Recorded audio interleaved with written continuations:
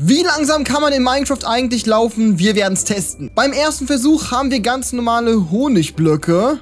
Beim zweiten Versuch werden wir ganz normal durch Wasser laufen. Beim dritten Versuch haben wir Soul Sand unter den Füßen. Beim nächsten Versuch laufen wir einfach mal durch Spinnennetze. Und endlich sind wir angekommen. Ja, genau, perfekt. Sehr schön.